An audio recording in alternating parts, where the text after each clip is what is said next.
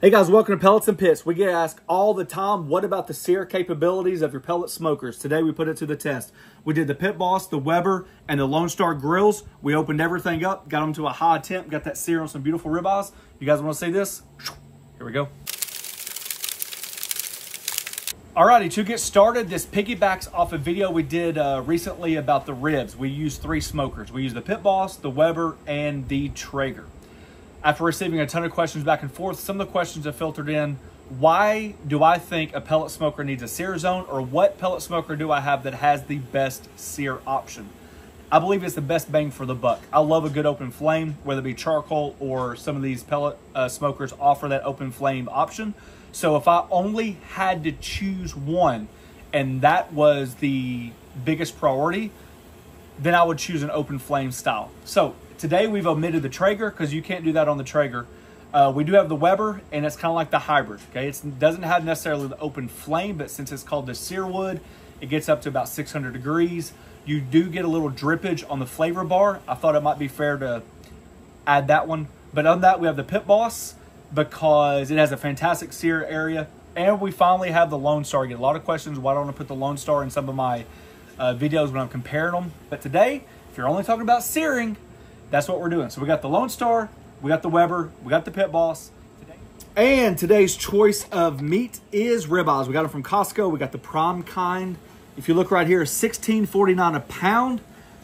I know for some people that's extremely expensive. We've mentioned several times that we typically get about six to eight dollars a pound for ribeyes when they go on sale, but that's not prime, that's choice.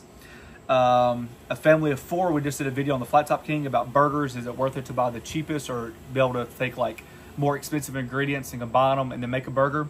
So it's really up to your budget. But I thought this was a great deal. You're probably looking at 60 bucks for a family of four versus if you go to restaurants, it's gonna be well over 200.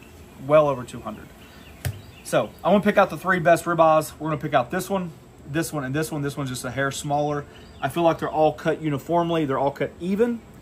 And then other than that, we are going to be rocking our Smokin' Pecan pellets. You guys know I've been rocking those for a while. Still on the bandwagon. Love them. So uh, each pellet smoker is up to about 250 degrees right now because I just wanted to get those insides warmed. I didn't want to go from zero to 100 that fast. Um, we're going to fill up our cavities, our pellet hoppers, uh, with Smokin' Pecan pellets. There is some residual left over of each one. I wanted that to burn out so it's an equal flavor, equal pellet for equal temperature if it offers.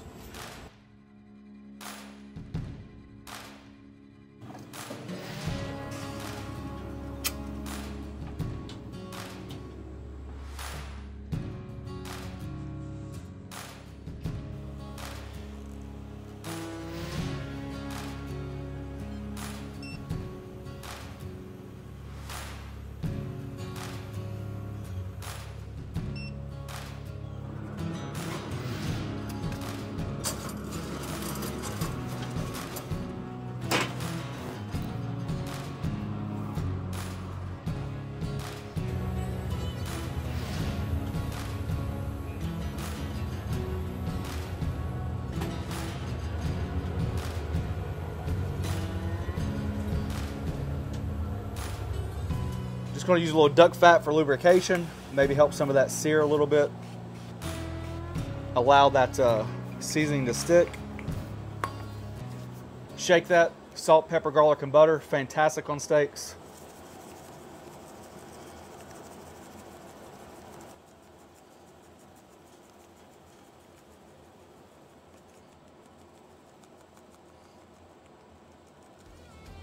Get those sides and then do the same thing on the other side.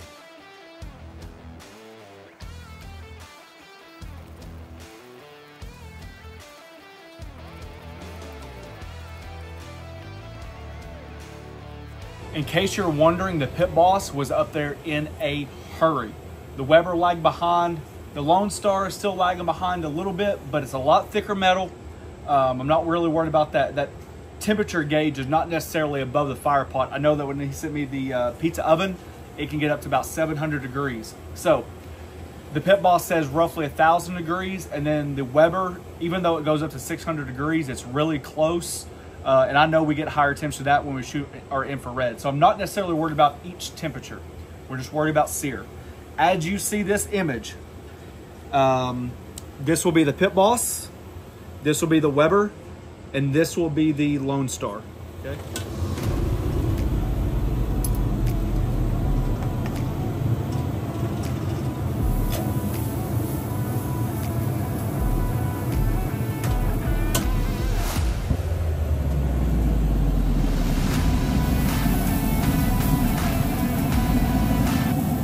see what I was talking about? On the Traeger, it's kind of protected, but on the Weber, you still get that uh, flavor bar and those sparks and that uh, fat still renders down and kind of catches on fire. And I'll show you the Pit Boss. Right above the burn pot.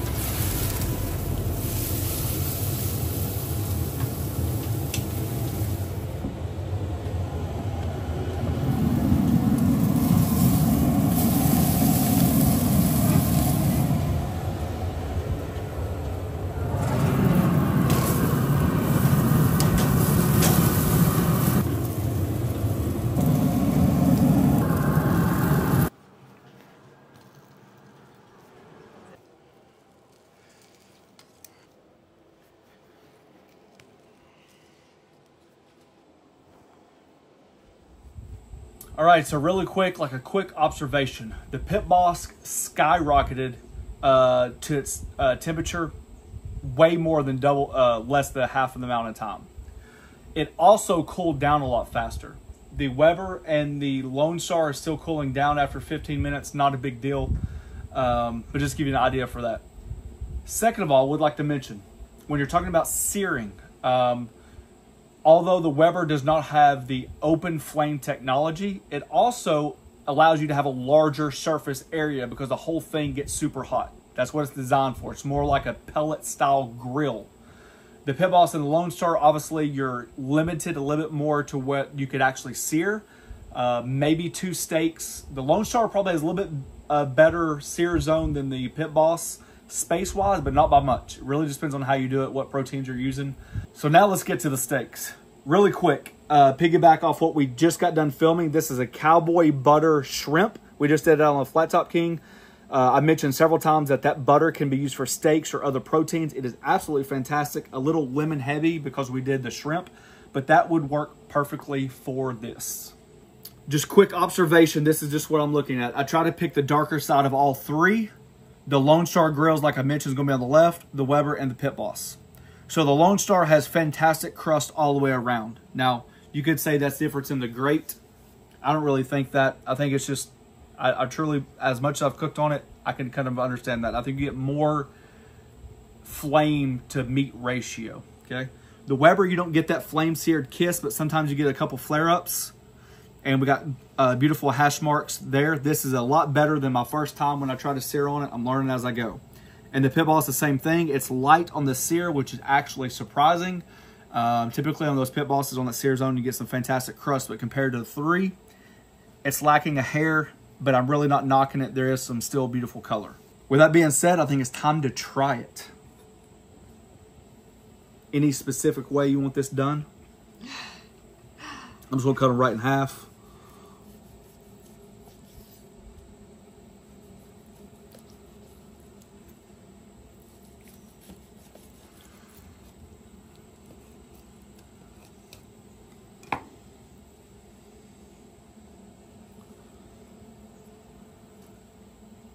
I thought the I think I mentioned it earlier. I thought the ironic thing is, no matter what temp the grill said it could get to, basically these steaks were done within a minute of each other, and I thought that was pretty neat. Um, the capacity of the pellet hopper pellet hoppers might change your opinion because when you're cooking at a high heat, you're going to go through them pellets a lot. I think a premium pellet like that uh, Smokin' Pecan pellet works well. You have limited time to get that smoke on there, along with the idea that you could do a reverse sear. I mentioned earlier that we start off at 250. You could always throw a thick steak on there, get that smoke. You could even cut the temps down, change your smoke modes if you want to, pull it off, adjust your temperatures on your pellet smokers, and then sear from there. So, enough talk. They all look perfectly cooked.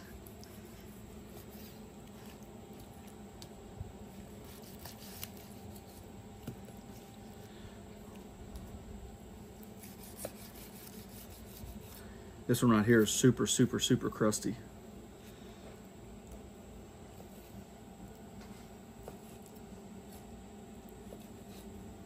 All right. Cheers.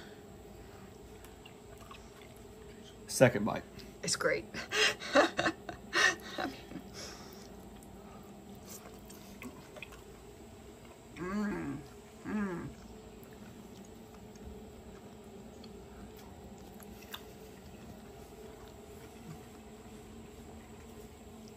I have an opinion. Do you?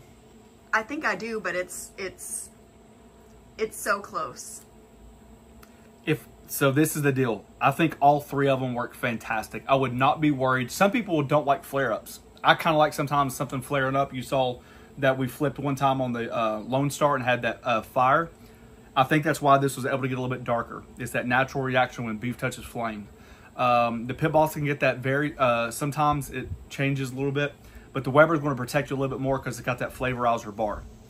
I did not think that any of those options changed the taste. Now the texture, because I like that bark, that crunchiness, I like that. But ironically enough, I didn't think the Lone Star had as much smoke as the other two, even though I thought they were mild. I agree.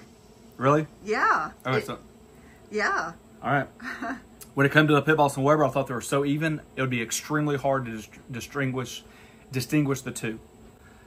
I couldn't imagine. We've done uh, things before where we used a, a pellet, um, and then we tasted it side by side, and then there was like a stark difference. That's why we've you know chosen Smokin' Pecan pellets because we truly feel like it's a great flavor. Even with a great pellet inside of these uh, smokers, side by side, um, the pellet would probably matter. Would be my guess. Wouldn't you think? If you had a uh, underachieving pellet versus a high achieving pellet, you would like that flavor because it's only on there for a couple minutes. So we did two minutes, two minutes, two minutes, and one minute, and that's all it took. So there we go. And you say two minutes, two minutes. Explain that more. Uh, when I mean the two minutes, I just meant that's how long it took. So the two minutes on the first side, flip it two minutes, flip it back over two minutes, and flip it back over for a minute, then let it rest. We hit about 122 to 124 degrees, somewhere through there, on all three steaks, pretty much evenly at the same time. I personally do not think it matters. I think they all three sear fantastically. I do give the edge to Lone Star for the ability to create that crust, but I didn't think the smoke flavor was intense. Yeah. But you're talking about like one, like one, like A plus B. It's not like an A and D. Would is that Yeah. fair? Yeah. And then the Weber and the Pit Boss, um, a lot more equal searing for the Weber. The Pit Boss is a little bit smaller, um, but you get that open flame technology, and that's what I like about pellet grilling. Thanks for watching. Don't forget to press that subscribe button, pound the notification button, share it with your friends. Peace. God, how do you determine which one you want? They're I all mean, great. look at that crust. They're all great. I like that spinalis. Yeah. You want that bite right there? Uh-huh. Mm.